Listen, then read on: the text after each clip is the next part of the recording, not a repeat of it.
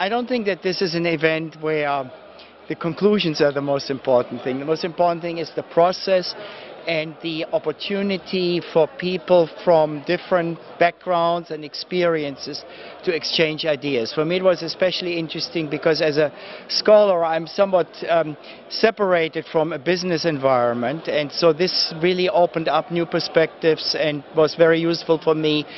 In the same way I hope that it's useful for business people to hear the perspectives of academics and their rather different conceptualization of some of the problems that are relevant for them as well.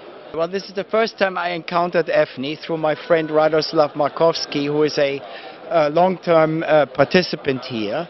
And um, I'm quite impressed that uh, you can stage um, in a gathering of people from very different walks of life in this way. And I'm looking forward maybe to participate in uh, one future event uh, down the line.